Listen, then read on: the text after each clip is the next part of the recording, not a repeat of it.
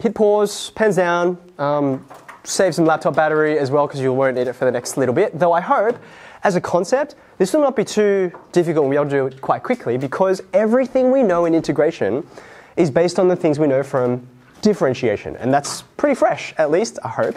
So, here are the three derivatives we were just looking at before. And all I'm going to do is take each of these and integrate them with respect to x.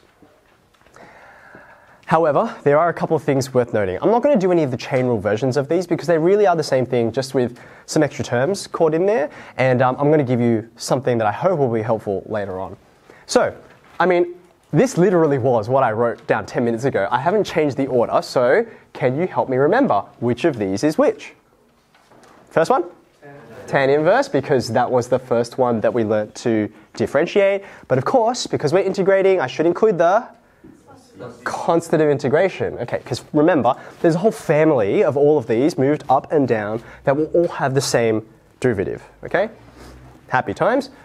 Second one we did? Sine inverse. Same deal with our constant of integration. And at this point, I'm going to pause. Now, you already know because you're like, well, we did tan inverse, we did sine inverse. I guess I know what the last one is, okay? But you need to stop for a second, recognizing the fact that the difference between these two things here, by the way, that thing in blue, the thing being integrated, do you know what that's called? Has a name?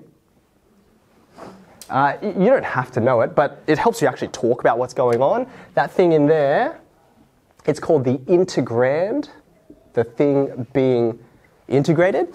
Now, the integrand from example 2 to example 3, all that's different is what? It's just that negative, right? you got to be careful when you're like, it's just the sign. Wait, which sign? It's the fact that there's a negative, not a positive, right? Now, not only that there's a negative, but this negative, because of its place, not all negatives can be um, can have the thing that I'm about to do done to them, because you'll see why in a minute. This particular negative, I could just as easily factor outside of the integral, right? Like we could do that with any constant up here. Negative 1 in the numerator is just a constant I can divide out. Now, hold on a second. You were all pretty convinced we were about to write cos inverse here, but now what would you feel like I ought to write based on the previous line? Now hold up a minute. This seems weird. Like, how can you just turn it into a different thing? Well, the answer is I haven't turned it into a different thing. I've just dressed it up in different clothes. In exactly the same way that I hope that you would recognize that as the same as this, right? Same thing, different clothes, okay? This is the same as cos inverse. And my graphs over here will help us see it, right? Here's cos inverse, it's the second graph, okay? Negative sine inverse is this, but upside down, right? That's what putting a minus sign out the front does. So if I get rid of this so that we can draw on it a bit more clearly, let's put that same thing in, but we'll draw it upside down. Starts up the top instead of the bottom, and then it arcs down, it continues like so. Now that sure does look familiar. What's the difference between this graph, the green one, and this one? It's just a vertical shift, right? Which is captured in here. That's all that plus c does. These are in the same family. They are the same function. It's just that you will end up with a different constant of integration if you had some values to determine what it ought to be. Does this make sense? Now, two things that I want to highlight before I then set you back to work. I told you, that was it. Not complicated, right? Once you know how to differentiate stuff, you can integrate. The first thing I will say is wow, this looks like it's a recipe for disaster, right? Because today, this is all nice and fresh and recent, and you're like, I, I know what these all look like, and you even have it written in the order that will help you remember the order that we did it in, right? But if I got rid of all this, I jumbled it up, changed some coefficients a little bit, of course it's pretty easy to confuse all of these things. They look remarkably similar, okay? So here are my two uh, things to make you feel better, I hope, okay? If these look annoyingly similar, Spare a thought for your friends in Extension 2 who don't just need to know how to integrate these. They also need to know how to integrate this. They also need to know how to integrate this. They also need to know how to integrate, hold on, I always forget because there are so many. Oh, yeah, that's right. Uh, this one here, I should have put my dx there. x squared minus 1. Do you remember how I said, oh, look, this minus sign on the numerator, you can just factor that out, no problems. There's a minus sign here on this part, but you cannot just pull that out because it's underneath the square root, right? Not to mention, they also need to know how to integrate this. So if you felt like it was bad, that you had to be able to tell these three apart, I promise it's not that bad, okay? The second thing I want to say is we give you this massive leg up. And back when I did the HSC, we didn't have this. We had something much simpler. I don't know how much time you spend looking at the reference sheet, okay? Let's be really clear. The reference sheet is supposed to be a crutch. How many of you have used crutches before, like for a significant period of time? Yeah, what did you have? What did you injure? Um, okay, that's fine. Anyone else? Like a broken ankle or toe or something? What did you get? You know what crutches do, right? They help you out, they help you do something you couldn't otherwise, but they also slow you down. If you're like healthy and all of your muscles are working, using crutches slows you down, and the reference sheet is exactly the same. If you cannot remember, like use it. That's what it's there for, right? But if you can remember, if you can put the work in to know this stuff without having to consult so that you can tell them apart, then you don't feel the time penalty of going to look and where is the thing and all of that kind of thing, right? Now, let's just quickly have a look. You've got to all, go all the way through page one, through page two, and then we get to page three. All of the calculus is here. Now, have a look. We will recognize some of this. Let's stay on the differential calculus side for a minute. So, ta-da, sine inverse, cos inverse, tan inverse. You'll notice that they've got it written in the chain rule form. So there's all those f of x's and so on. So you literally wrote that down just 10 minutes ago. Then, if you have a look on the right hand side, so that's where all the integrals are, right? There are the two integrals that we're interested in, right? So the thing you'll notice is first, okay, there's tan inverse, which you've seen. There's sine inverse, and you tell me why there's no cos inverse. It, it's because of this thing, right? It's because actually it's just a constant coefficient of difference, right? So you could just as easily, this, this answer here, if you see this form, you could just as easily write this as negative cos inverse f of x, you just have some different constant. This make sense? So if you're like panicking, because they, it's true, they really do all look similar, and when you're under exam pressure, yada, yada, yada, it's easy to mistake them. Um, go here if you're not sure, or go ahead, do the question, and then when you're doing checking, come back, put this next to it, and you're like, yeah, did I use the right one? Thumbs up, okay?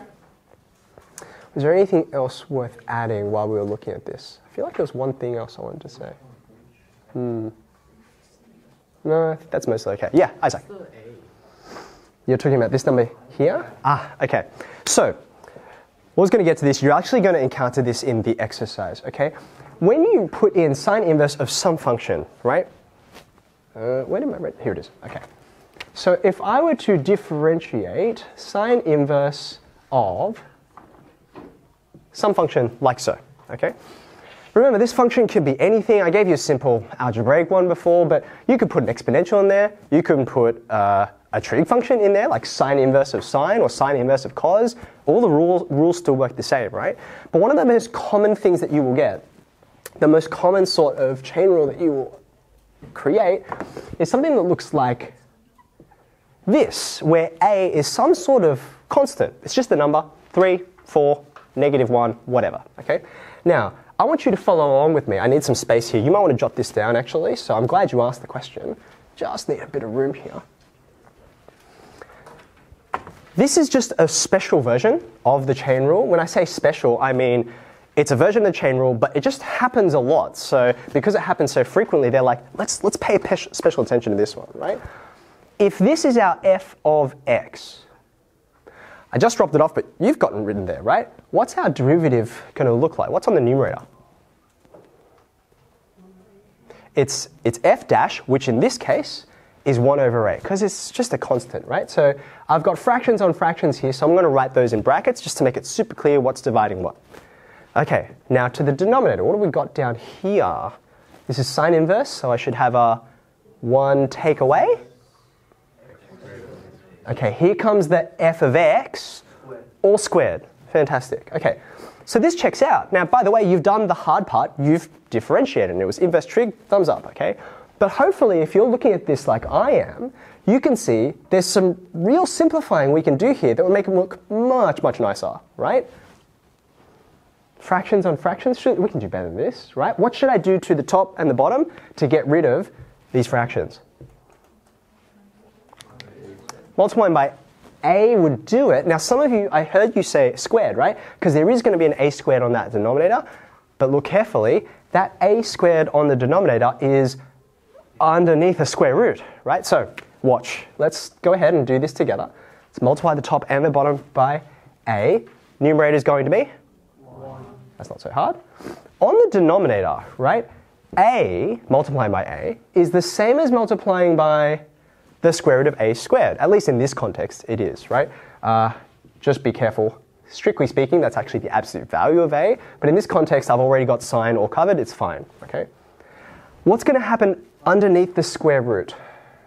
This 1 is being multiplied by a squared. And then in here, look carefully, I'm doing a couple of things at once, which I know is cheeky. This is x squared on a squared. Do you agree? X squared on a squared. So when you multiply by this, bam, it's gone. That's nice, isn't it? Like that's that there, that looks quite nice and simple. And so you can see, can you recognize? That's what's going on here, this a squared minus f of x all squared. It's not really a different thing. They've just kind of done a couple of lines of algebra to get rid of fractions. Okay? All right, excellent. Um, I remembered the thing that I was going to say, except I then rubbed it off. Remember those things that I told you about where it's like, oh my goodness, the extension 2 people have so many more things to, that look very similar that they also have to learn how to integrate? Two issues with that. Number one, their integrals are nowhere on here. they don't get them on the reference sheet.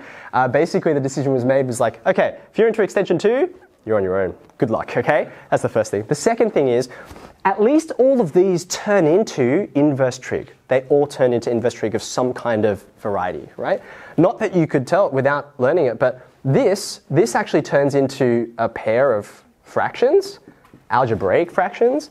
The one that looked like this, square root of 1 plus x squared, this turns into a log of some kind, and then I can keep on going. They're like all weird and wonderful varieties. That's why you don't have to go anywhere near them, because we're in inverse trig land, You've learned all the inverse trig derivatives and integrals. Okay?